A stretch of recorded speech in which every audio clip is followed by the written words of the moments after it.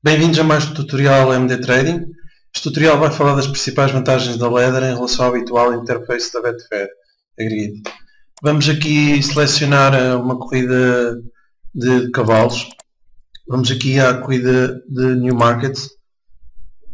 Vai aparecer aqui a grid, eh, no entanto, como, como vamos então aqui abordar a Ladder, não nos interessa.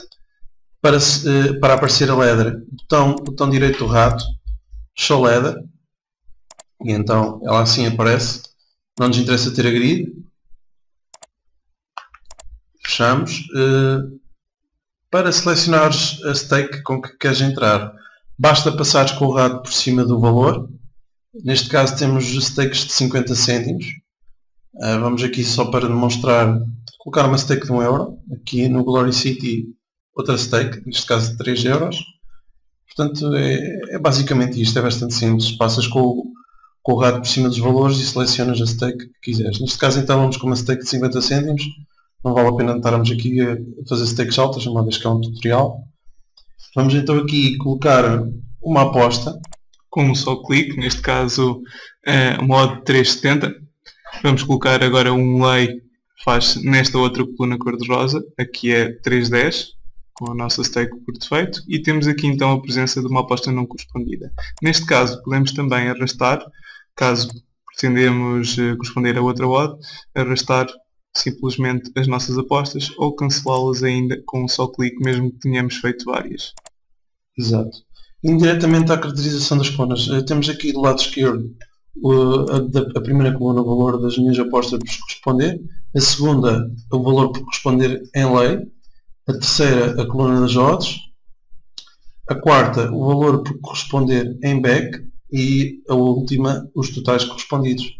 Nos totais correspondidos então eh, reside uma das grandes vantagens eh, da nossa Leather, isto porque temos um cavalo com 35 mil euros correspondidos, o Tariki, numa corrida de 80 mil euros.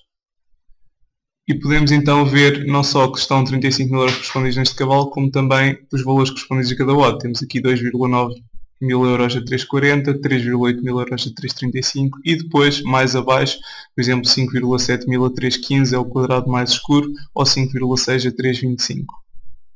Exato. Podemos também inclusive mudar a ordem das colunas.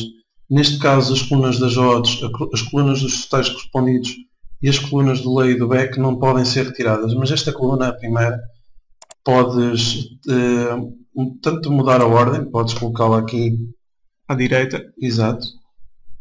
As outras também podes colocar conforme queiras. Eh, o que eu estava a dizer é que essas mesmas não podes tirar, mas esta que está aqui mais à esquerda podes retirar ou também acrescentar. Para isso basta ir a Ladder Layout, Bet Display e escolheres ou Dual, ou Single ou In Price. Neste caso vamos então experimentar a Dual Column Há pouco tínhamos estas duas apostas não correspondidas na mesma coluna, esta coluna da esquerda, e neste momento temos em duas colunas separadas. Os nossos leis por corresponder na primeira coluna, na coluna da esquerda, e depois os nossos backs vão para a coluna da direita. A funcionalidade é exatamente a mesma, mas em vez de termos as apostas mostradas apenas numa coluna, passamos a ter em duas. Como podemos ver, podemos na mesma eliminar as apostas com um só clique. E vamos então ver no Bet Display novamente agora in price column. Esta não é uma das nossas preferidas, eu vou pôr aqui a coluna das odds no seu devido lugar, mas a funcionalidade continua a ser a mesma, só que em vez de termos, por exemplo, ali a odd uh, que deveria estar ali, que seria 3,85, passamos a ter então o montante que temos para corresponder, seja em back, seja em lay. E vamos voltar então em display à nossa single column à esquerda. Exato. Uh, em relação aos cavalos, podes colocar mais que 3, neste caso estamos com 3, vais a, a Leather Layout Max Columns e neste caso então aparecem 4 cavalos. Podes meter, meter mais, pode meter 5, 6, conforme. Uh, neste caso se estiveres a fazer trading num portátil, o teu ambiente de trabalho fica um bocado carregado e até demora um pouco a carregar a, a leather. Um, eh, o teu ambiente de trabalho fica um bocado carregado, fica muito, muito extenso mesmo. Se estiveres a fazer trading num computador com um ecrã bastante grande, até, até é melhor, mas neste caso então só selecionar 3. Em relação aos cavalos, podes mudar a ordem. Aqui vamos pôr o altruísmo à esquerda, clicando aqui em cima, ou então podemos ir ao Leather Selector, mais uma vez aqui em cima à esquerda, vamos selecionar o que queremos e vamos selecionar novamente o Tariki para a primeira Leather, o Leather Selector no ecrã principal do Gix. Exatamente.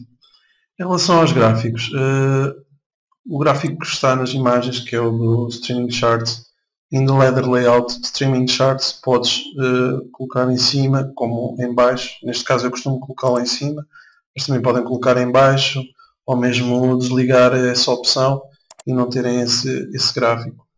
Um, outro gráfico importante é o do Matched Bets e do Unmatched Bets. Vão a Footer Layout e têm essas duas opções ligadas, neste, neste caso estão as duas opções ligadas, mas também as podem desligar ou só mesmo ter uma. É, podemos ter aqui então desligar aqui as unmatched bets, ficamos só então com as nossas apostas que já foram correspondidas, ou desligar tudo e ganhar um novo espaço. Exatamente. Vamos então selecionar as duas e passar a explicar o, o gráfico da Betfair, o Price Volume Over Time, que está no principal, mas também podem usá-lo na, na Leather. Vão ao Footer Layout, Betfair Graph Display, podem colocá-lo no topo, em baixo, à esquerda ou à direita, conforme o vosso gosto. Neste caso eu não costumo utilizá-lo, mas é mais uma funcionalidade. Eh, assim como estas, eh, nós só tivemos a falar das funcionalidades principais, mas assim como estas também podem encontrar muitas mais. É uma questão de utilizarem a Leather, explorarem muito bem a Leather e, e vocês encontrarão muitas mais funcionalidades.